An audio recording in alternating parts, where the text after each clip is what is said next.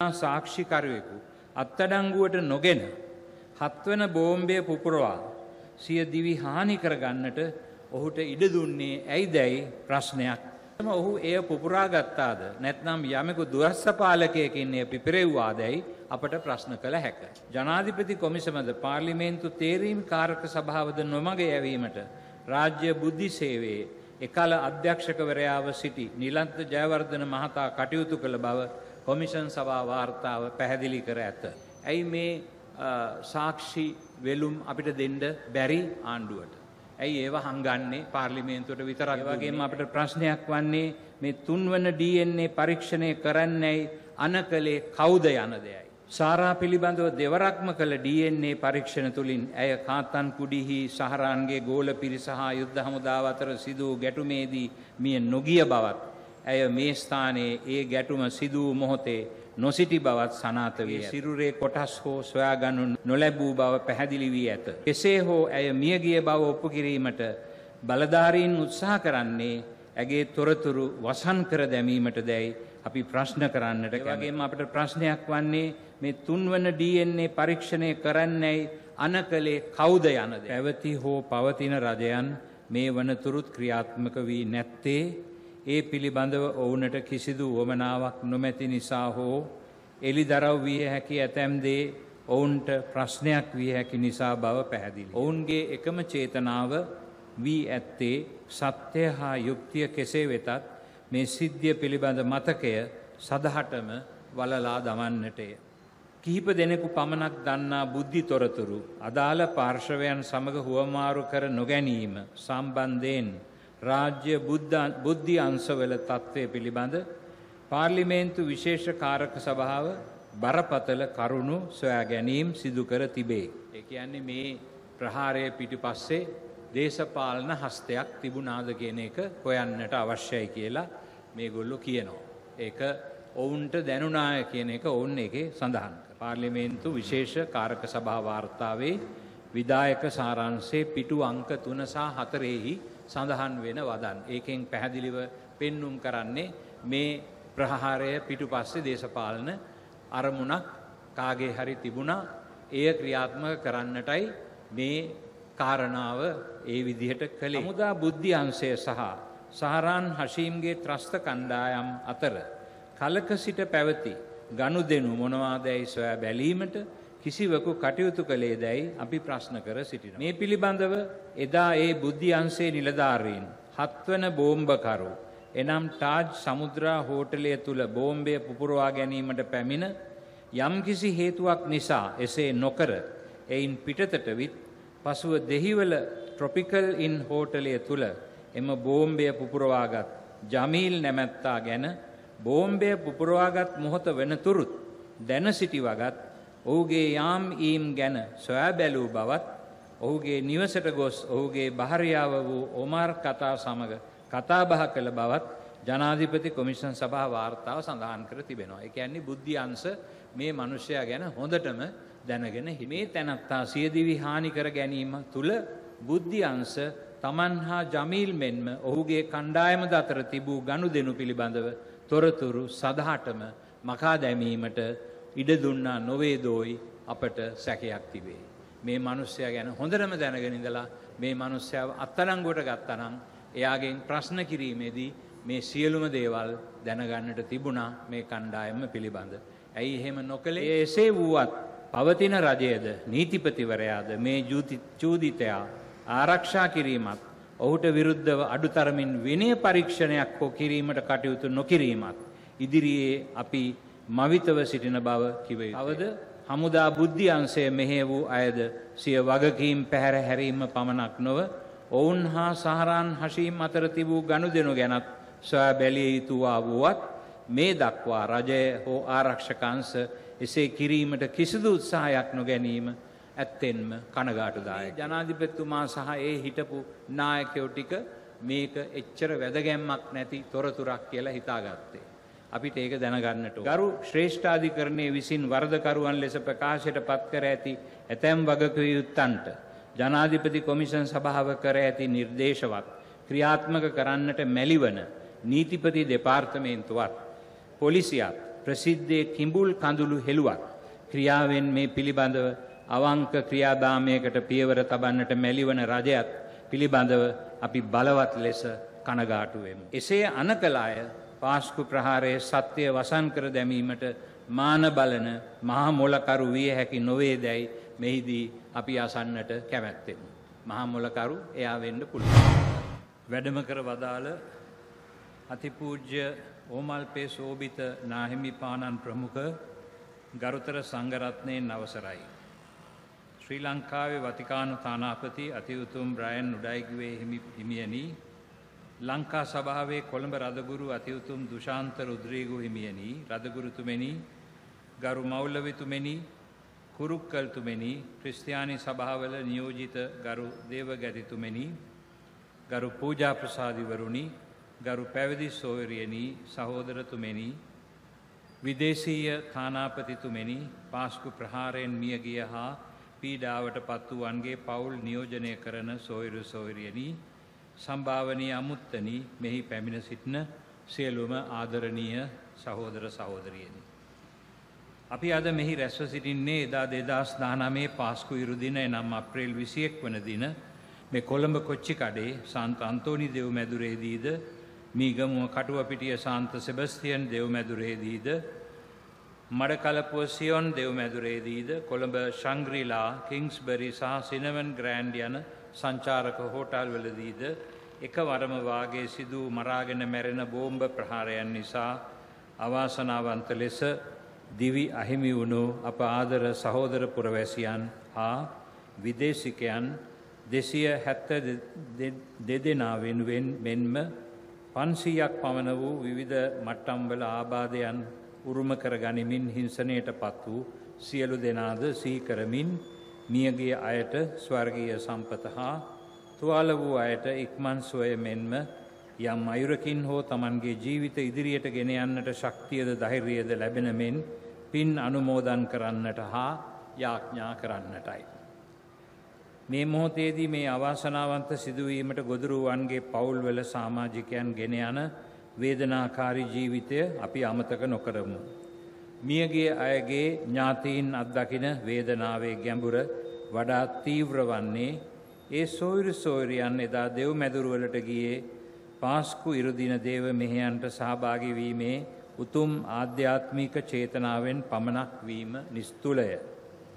එලෙසම සංචාරක හෝටල් තුළ මිය ගියේ උදේ ආහාරය වැළඳීම වැනි අහිංසක ක්‍රියාදාමයක් සඳහා එහි ගොස් සිටි සංචාරකයන් හා ඒවායේ සේවය කළ විවිධ තරම් තිරම්වල වෘතිකයන් වීම නිසාය.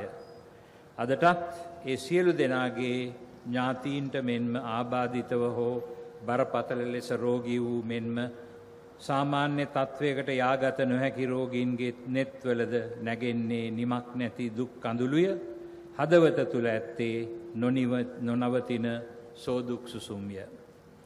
මේ මහා ත්‍රස්ත ප්‍රහාරය ගැන විමර්ශනය කරන්නට විවිධ අවස්ථාවලදී පත් කරන ලද විජිත් මලල්ගොඩ විමර්ශන කොමිටිය පාර්ලිමේන්තු තේරීම් කාරක සභාව හා ජනාධිපති කොමිෂන් සභාව යන විමර්ශනයන්හි වාර්තා මේ වන විට අසම්පූර්ණ අයුරින් හෝ ප්‍රසිද්ධයට පත්කර තිබුණත් ඒවායේ ගම්‍යව ඇති ඇතැම් යෝජනා හා නිර්දේශ පිළිබඳව ජනතාව හරි හැටි දැනුවත් කිරීමටවත් පැවති හෝ පවතින රජයන් මේ වනතුරුත් ක්‍රියාත්මක වී නැත්තේ ඒ පිළිබඳව ඔවුනට කිසිදු වමනාවක් නොමැති නිසා හෝ එලි දරව් විය හැකි ඇතැම්දේ ඔවුන්ට ප්‍රශ්නයක් විය හැකි නිසා බව පැහැදිලිය.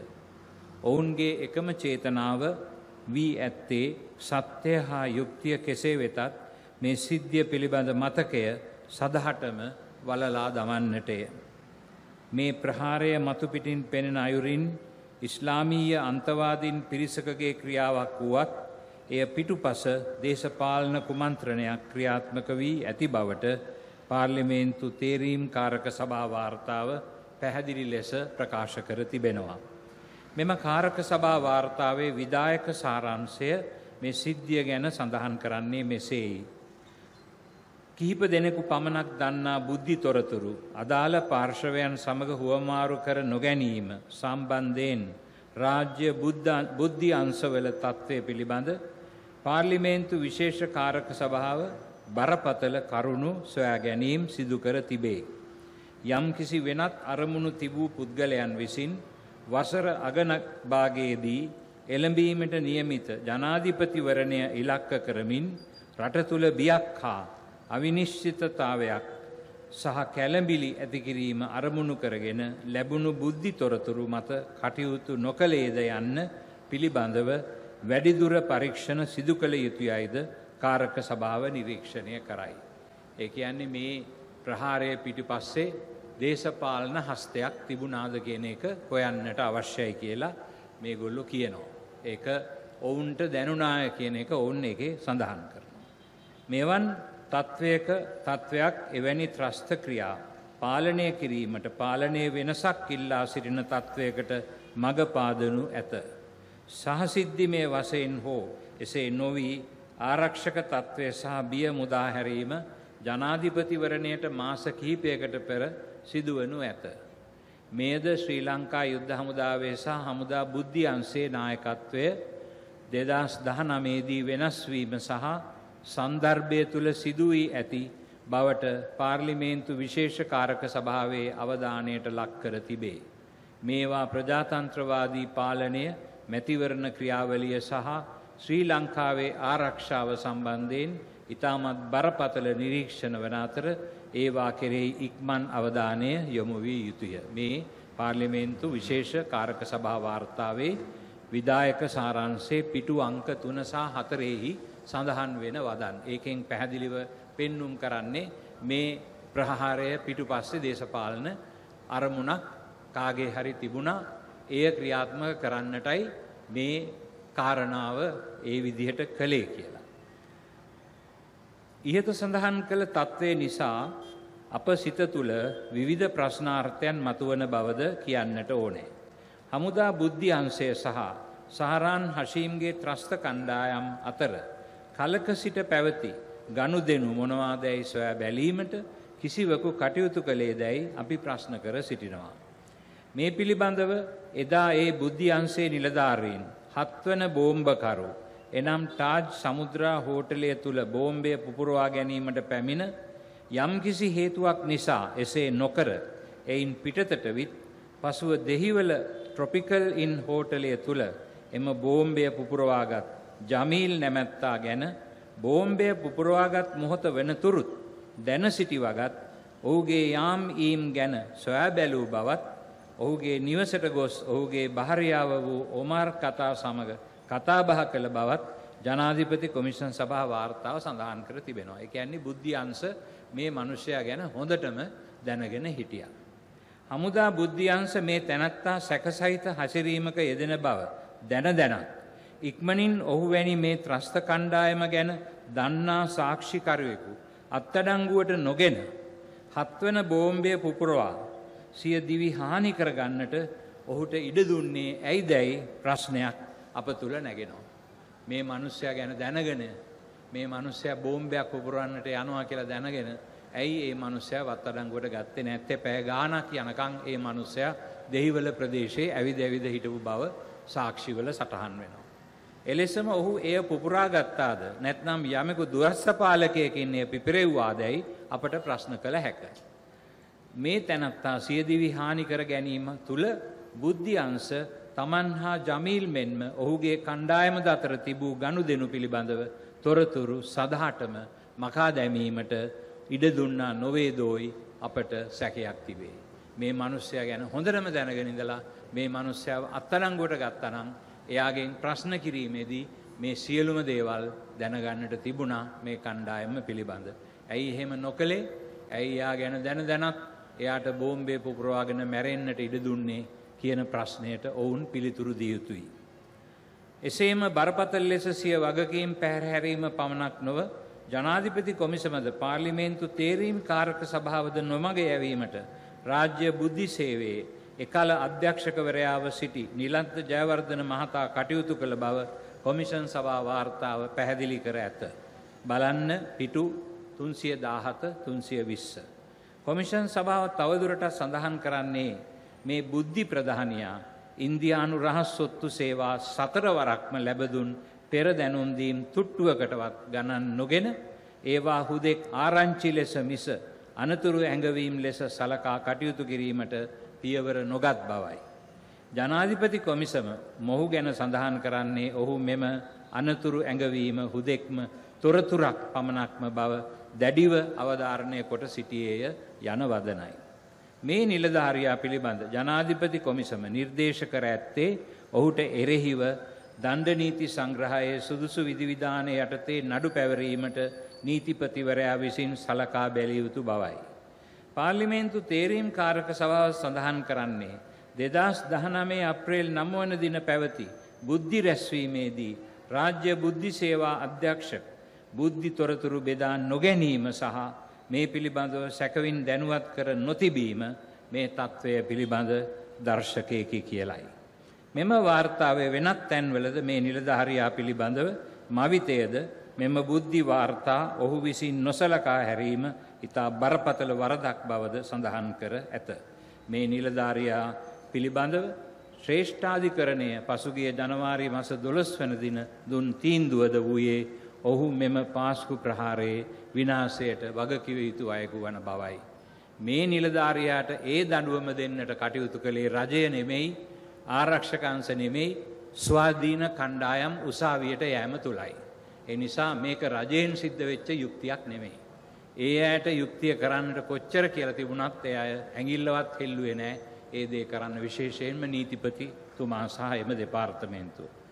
ඒ එසේ වුවත් පවතින රජයද නීතිපතිවරයාද මේ චූදිතයා ආරක්ෂා කිරීමත් ඔහුට විරුද්ධව අඩුතරමින් විනය පරීක්ෂණයක් හෝ කිරීමට කටයුතු නොකිරීමත් ඉදිරියේ අපි මවිතව සිටින බව කිව යුතුය.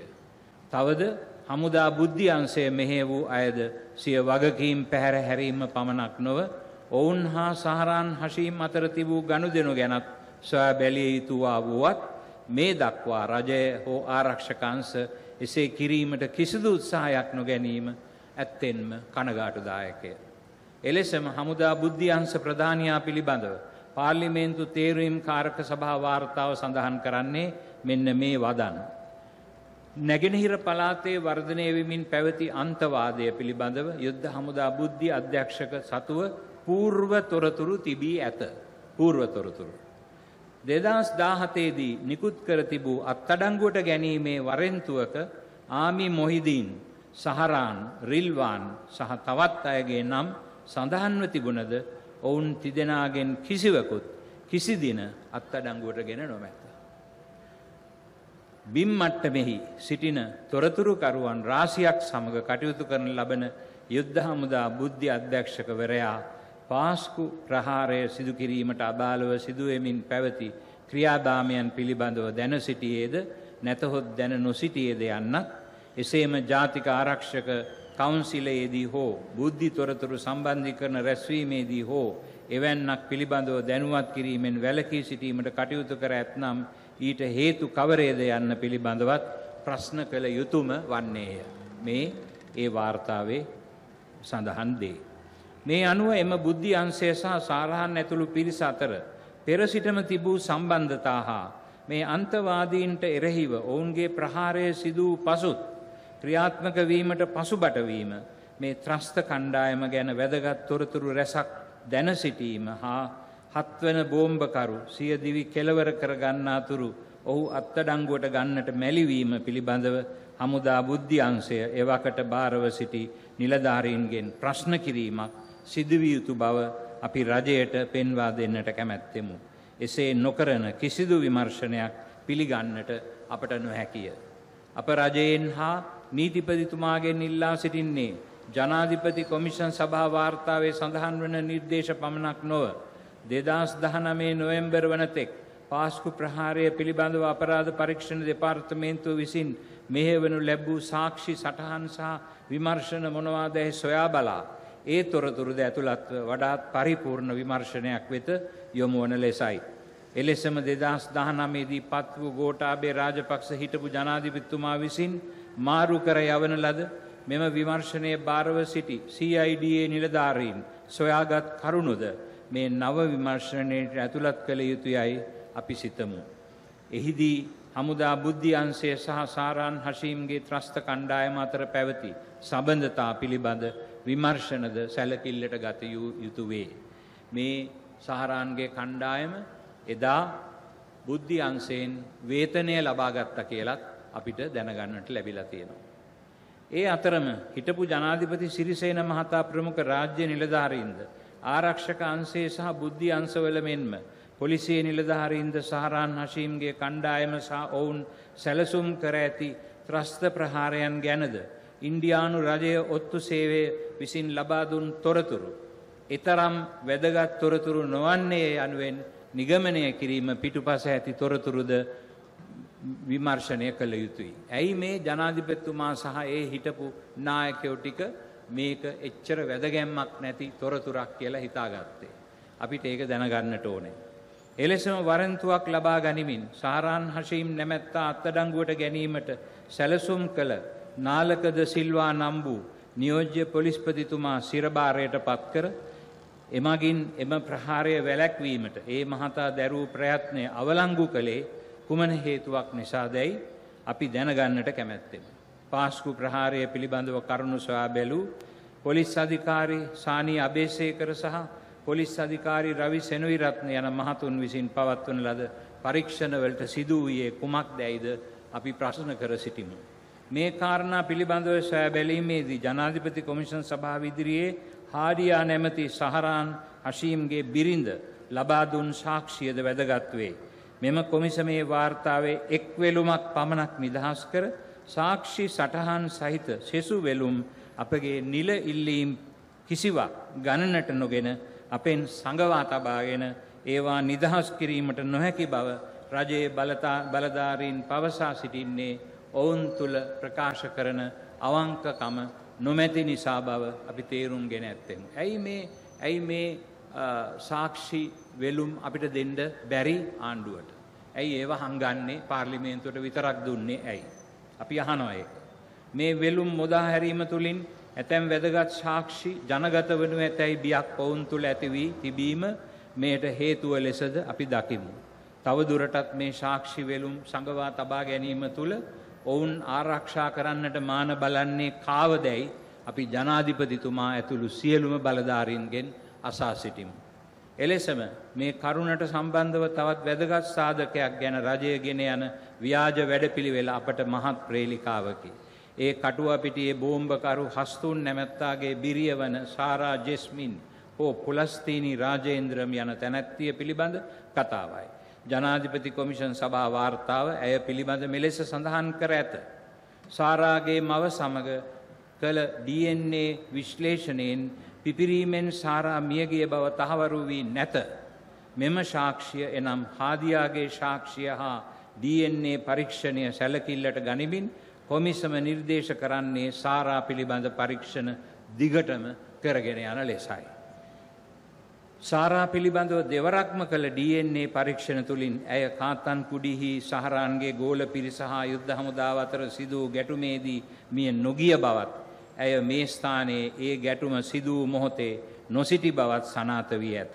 ඇගේ සිරුරේ කොටස් හෝ සොයාගන්නු නොලැබ නොලැබූ බව පැහැදිලි වී ඇත.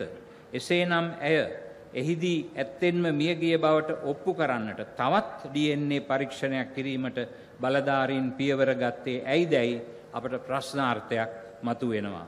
කෙසේ හෝ ඇය මියගිය බව ඔප්පු කිරීමට බලධාරීන් උත්සාහ කරන්නේ ඇගේ තොරතුරු වසන් කර දැමීමට දැයි අපි ප්‍රශ්න කරන්නට කැමතියි. ඒවගේම අපට ප්‍රශ්නයක් වන්නේ මේ තුන්වන DNA පරීක්ෂණය කරන්නැයි අන කළේ කෞුද යන දෙයයි. එසේ අන කලාය පාස්කු ප්‍රහාරය සත්‍යය වසන් කර දැමීමට මාන බලන මහා මොලකරු විය හැකි නොවේ දැයි මෙහිදී අපි අසන්නට කැමැත්තෙම. මහා මොලකරු එයා වෙන්න පුළුවන්. එක නිසානේ එයා තුන්වෙනි පරීක්ෂණය කරන්න කියලා බල කරන්න. මෙයා කෝමහරි මැරුණයි කියලා කියන්න. ඒ නිසාම ඇය පිළිබඳව සහ සාරාන්ගේ බිරිඳ වන හාදියා දුන් සාක්ෂි පිළිබඳවද.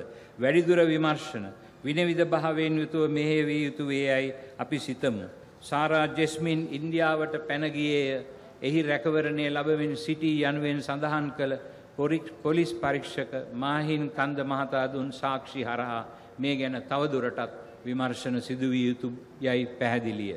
තවද ඇයට මන්නාරම හරා ඉන්දියාවට පැනයාමට උදව් කළේ යයි සාක්ෂි සඳහන් වී ඇති එක්තරා පොලිස් නිලධාරියෙකුට විරුද්ධව නඩුවක් නැගෙනහිර පලාතේ විභාග වෙමින් පවතින බවද සඳහන් වේ. එසේ නම් ඇය පැනගියා නම් ඇය පැනගියේ ඇයි ඇය ඉන්න කොහේද ඇය දන්න දේවල් මොනවාද මේ ප්‍රහාරය පිළිබඳව අපි ඒව දැනගණ්ඩ කැමතියි. මේ අතරම විමර්ශන තවදුරටත් සිදුවිය යුතු වෙතත් වෙනත් කරුණු කීපයක් මෙහිදී ගෙනහැර පෑම් වැදගත් බවද කිව යුතුයි. ඒ අතර එක. ඉන්දිය රහස්සොත්තු සේවාව හතරවරක්ම ප්‍රහාරය පිළිබඳ ලැබදුන් අනාවැකි එතරම් භයානක තොරතුරු නොව සාමාන්‍ය ආරංචි බව නිගමනය කළ හමුදා බුද්ධියන්සේ මෙන්ම රාජ්‍ය බුද්ධියන්සේ ප්‍රධානීන් හා පොලිස් නිලධාරීන් ගැන සිදුවිය යුතු විමර්ශන. දෙක මාතලේ සහරාන් නැමති පුද්ගලයෙකු හරා ඉන්දුනීසියාවේ ISIS සංවිධානයට පණිවිඩයක් ලැබදී මේ ප්‍රහාරය භාරගන් ලෙස බලකිරීමට කටයුතු කළ සොනික් සොනික් යන සංඥානාමයෙන් හැඳින් වූ බුද්ධි අන්සේ නිලධාරයා පිළිබඳවද. ඒ පාවිච්චි කරන ලද දුරකණයට කතනයට අදාළ IP ලිපෙන අනුව එහි අයිතිකරු කවුරුන් දැයි සෙවීම සඳහාද සිදුවියයුතු විමර්ශනය. මේ නිලධාරයා ඇයි වෙන කෙනෙකුගේ කර උඩට මේ ප්‍රහාරය පටවන්ඩ උත්සා කෙරුවේ. කෞද එතකොට ප්‍රහාරය ඇත්තරම කළේ දැනගන්න. තුන්වෙනි එක ජනාධිපති කොමිෂන් සභා වාර්තාවේ සඳහන් වන පරිදි අබු හින්ද්ගේ අනන්‍යතාවය පිළිබඳ විමර්ශනය කරන බව පරීක්ෂණ කොමිෂන් සභාව ඉදිරියේ රහස් පොලිසිය විසින් සාක්ෂි ලබා දෙන ලදී. එම පරීක්ෂණය ඉදිරියට යායුතුයි. කෞද මේ අබු හින්ද කියන්නේ. අපි දැනගන්න ඕන ඒවා. ජනාධිපති කොමිසමත් ඒ ගැන කියලා තියෙනවා. හතරවැන්න ජනාධිපති කොමිෂන් සභා වාර්තාවේ සඳහන් වෙන ඉහත කරුණු සැලකිල්ලට ගනිමින් පාස්කු ඉරිදා ප්‍රහාරයේදී අහමඩ් තාලිබ් ලුක්මන් තාලිබ් සහ ඔහුගේ පුත් ලුක්මන් තාලිබ් අහමඩ් නොහොත් අබු අබ්දුල්ලා සහ රිම්සාන්ගේ භූමිකාව කුමක් දැයි විමර්ශනය කළ යුතුවේ යනුවෙන් ජනාධිපති කොමිෂන් සභා වාර්තාව තුළ ඇති නිර්දේශය පිළිබඳ විමර්ශන සිදුවිය යුතුයි. මේ අතරම හිටපු නීතිපති දප්පුලද ලිවේරා දෙදස් විසි එකේ මැයි දාහත් වන දින නිවස් ෆස්ටි සුල්ෆික් ෆර්සාන් නැමති මාධ්‍යවේදයා සමඟ කළ සාකච්ඡා විදි කරන ලද ප්‍රකාශය දැන් ඒ මහතා සාක්ෂිකරුවෙකුට වඩා චූදිතයකුගේ තත්ත්වයට ඇද දමා ඒ මහතාව අපහසුතාවයට පත්කර සැබෑ චූදිතයන් සොයා යන්නට තමන්ට නොහැකිවීම වසා ගනිමින් පොලිසිය හා ආරක්ෂකංශ කටයුතු කරන බව දැන් පැහැදිලි වෙමින් පවතී. ඔවුන් කළ යුත්තේ එවැනි දෙයක් නොව ඒ මහතා පොලිස්පතිතුමන්ට ලැබදුන් පිටු එකසි අසූ නමයක වාර්තාව කියවා බලා එහි කරුණු විමර්ශනය කිරීමයි. ගරු ශ්‍රේෂ්ඨාධිකරණය විසින් වර්ධකරුවන් ලෙස ප්‍රකාශයට පත්කර ඇති ඇතැම් වගකව යුත්තන්ට ජනාධිපති කොමිෂන් සභාව කර ඇති නිර්දේශවත් ක්‍රියාත්මක කරන්නට මැලිවන නීතිපති දෙපාර්තමේන්තුවත් පොලිසියත් ප්‍රසිද්ධයේ කිඹුල් කඳුළු හෙළුවත් ක්‍රියාවෙන් මේ පිළිබඳව අවංක ක්‍රියාදාමයකට පියවර තබන්නට මැලිවන රජයත් පිළිබඳව අපි බලවත් ලෙස කනගාටුවෙමු. ඔවුන් මුවින් ප්‍රකාශ කරන දේ හා ක්‍රියාව අතර ඇති පරතරය මනාව පිළිබිඹු කරයි. වත්මන් ජනාධිපතිතුමා සහ මහජන ආරක්ෂා පිළිබඳ ඇමතිවරයා මේ නොබෝදා තමන් කතෝලික සභාව සමඟ අවංක සංවාදයකට සූදානම් බව ප්‍රකාශ කළේ මේ දෙබඩි ප්‍රතිපත්තිය රැකගනිමින් දැයි අපට ප්‍රශ්නයක් නැගෙනවා. මේ රට තුළ නීති ආධිපත්‍යය බලධාරීන් විසින් දුරුවල කරන්නට හා එහි පවතින ආර්ථික දුෂ්කරතා ඉදිරියේ නයක් පමණක් ලබා දෙන ජාත්‍යන්තර මූල්‍ය අරමුදල නයක් පමණක් තෑග්ගක් නෙමේ රතිඥපත්තු කරන්නේ තෑගිවලට. නායකට නෙමේ නයක් අරගෙන තෑගිපත්තු කරන්නේ මොන රටේ රතිඥපත්තු කරන්නේ. සඳහන් කරමින් ජනතාවගේ නිදහස ප්‍රජාතන්ත්‍රවාදී නිදහස හා මානව උත්තරීතරත්වයේ නසා දමා ඒකාධිපතිවාදය රජ කරවා ජනතා පරමාධිපත්‍යයට පයින් ගසන්නට පියවර ගන්නා අප රටේ අද පවතින නායකත්වය පිළිබඳව අපට විශ්වාසය තැබිය නොහැක. අවසාන වශයෙන් ඔබට කියන්නට මට ඉතා වැදගත් දෙයක් තිබෙනවා. එනම් පාස්කු ඉරිදින ඛේදවාචකය නිසා අපේ රටේ ජනතාව තුළ සුවිශාල චින්තන පරිවර්තනයක් සිදු වෙලා තිබෙනවා කියන එකයි. ජනතාවක් ලෙස අපි හැමෝම මුහුකුරා ගොස් ප්‍රශංසනීය පරිණත බවක් ලබා තිබෙනවා. ජාති ආගම් භාෂා බේද අවුස්සා ජනකොටස් එකිනෙකා සමඟ කොටවා. අසමගිය හා වෛරය වපුරා මේ රටේ චන්ද දිනාගන්න දූෂිත ක්‍රමවේදය අද පරාජයට පත්වී තිබෙනවා. ඒක අත්තරම අපිට සතුටු වන්නට පුළුවන් දෙයක්. තවදුරටත් ජාති ආගම් භාෂා වෙනස්කම් මත අපෝ බෙදන්න බැරි උසි ගන්වා කොටවා කුලප්පු කරන්න බැරි තැනකට අපේ ජනතාව පත් වෙලා තියෙනවා. එහෙම බේදබින්න කරන්න දේශපාලනය කරන අය ගත් හැම උත්සාහයක්ම දැන් අසාර්ථක වෙලා තිබෙනවා. නිදහස ලබා අවුරුදු හැත්ත පහක් ගෙවුණත් කරගන්න බැරි වෙච්ච මේ චින්තන වෙනස පාස්කු ප්‍රහාරය නිසා සිදු වූ සිද්ධාමය හරහ සිද්ධිදාමය හරහා කරගන්න ජනතාවක් ලෙස අපි සමත් වෙලා තිබෙනවා. ඒ සමගිය සංහිදියාව එකමුතුකම මින් පසු කිසි දිනක කිසිම හේතුවක් මත කිසි කෙනෙකුට විශේෂයෙන් දූෂිත දේශපාලනඥයන්ට විනාශ කිරීමට අපි ඉඩ නොදෙමු කියා මාදරණීය රටවැසි ජනතාවගෙන් උදක්ම ඉල්ලා සිටින්න මේ අවස්ථාවක් කරගන්නවා. අපි මේ අවස්ථාවේදී අප ආදරණීය දෙවිපාණන් වහන්සේගෙන් ඉල්ලා සිටින්නේ අපේ මේ හඬට සවන්දී එදා පාස්කු විරිදින සිදුවනේ කුමක් දැයි අපට පෙන්වා දෙන්නට කටයුතු කරන ලෙසයි. එලෙසම අප රට තුළ ලබාගත් මේ එක්සත්කමේ ජයග්‍රහණය කිසිවෙකුට පරාජය කරන්නට ඉඩ නොදෙන ලෙසයි. සියල්ලන්ට අපි දැනුම් දෙන්නේ යුක්තිය ඉටිවනතුරු අපි අවදියෙන් ඉන්නවා කියලයි. මේ අවස්ථාවේදී මා විශේෂයෙන්ම මේ ජනපෞර සංවිධානය කරන්නට සහයෝගය දුන්නු සියලුම දෙනාට ස්තුතියි කියලා කියනවා. අද මේ මීගම ඉඳලා පෙරහැරකින් ආපු ඒ ජනතාව නොයකුත් දුක්ග හැට විඳගෙන ආපු ඒ ජනතාවටත් මගේ ස්තුතිය ප්‍රකාශ කරනවා. අවසාන අවසාන වශයෙන් මම එකක් කියන්න ඕන විශේෂයෙන්ම අපේ භික්‍ෂූන් වහන්සේලා මෙහි ඉන්න නිසා. වැරදි අදහසක් පතුරුවමින් යනවා අද රටේ ක්‍රිස්තියානි ජනතාව බෞද්ධ ජනතාවට විවේචනය කරනවා කියලා. අපි එහෙම කරන්න කිසිම විදිහකට ඉඩ දෙන්නේ නෑ. ඒක වැරදි. මේ රටේ ප්‍රධාන දර්ශනීක පසුබිම සංස්කෘතික පසුබිම හැදිලා තියෙන්නේ බුද්ධ ආගම තුලින්. අපේ චාරිත්‍ර වාරිත්‍ර හැදිලා තියෙන්නේ එහෙමයි. ඒවා අපි හැමෝම කතෝලික බෞද්ධ හින්දු මුස්ලිම් අපි සියලු දෙනාම අනුගමනය කරනවා. ඒ නිසා ඒ ශිෂ්ඨාචාරය වනසා දමන්නට අපි කොහොමටවත් කවදාක්වත් ඉඩ දෙන්නේ නැති බව ප්‍රකාශ කරන්නට ඕනේ. ඕනෑම අවස්ථාවක මේ රටේ බෞද්ධ චින්තනය විනාශ කරන්නට කවුරු හරි උත්සාහ කරනවා නම් අපි ඉස්සෙල්ලාම ඒකට විරුද්ධ වෙන බව ප්‍රසිද්ධේ ප්‍රකාශ කරන්නට කැමතියි. ඒ නිසා ඔබ වහන්සේලාට කියා සිටින්නට ඕනේ භික්‍ෂූන් වහන්සේලා විවේචනය කරන අය අපි පිළිගන්නේ නෑ. ඒවගේම සමාජ මාධ්‍යය තුළ භික්‍ෂූන් වහන්සේලාට පරිභව කරන්න එපා කියලා මං විශේෂයෙන්ම ඉල්ලා සිටින්න කැමති මේ අවස්ථාවේදී. මොකද ඒ සංගපිතෘන් වහන්සේලා තමයි මේ රටේ අපේ අනාගතයට අපට මඟ පෙන්වා දෙන උතුම් සේවාවක යෙදෙන්. තින් එනිසා මේ අවස්ථාවේදී ඔබහන්සේලාට ඒ පිළිබඳව මගේ මේ සහතිකය ලබා දෙන්නට මේ අවස්ථාවක් කරගන්න ඔබහන්සේලාට බොහොම ස්තුතියි. අපි ඔක්කොම එක රටක පුරවැසියන් හැටියට මොන ආගම ඇද හැව්වත් අපි මේ ගමන යමු අපි සියලු දෙනාම එකතු වෙලා අපි එක එක්කෙනාට ගෞරව කරමින් එක එක්කෙනාගේ දර්ශනය ආරක්ෂා කරමින් ඉදිරියට යන රටක් හදන්නට අපි කටයුතු කරමු කියලා ඔබහන්සේලාට මම ඉතාමත් අවංකව ප්‍රකාශ කරන්නට කැමතියි. ඔබ සියලු දෙනාටම ජේසු පිහිටයි ස්තුතියි.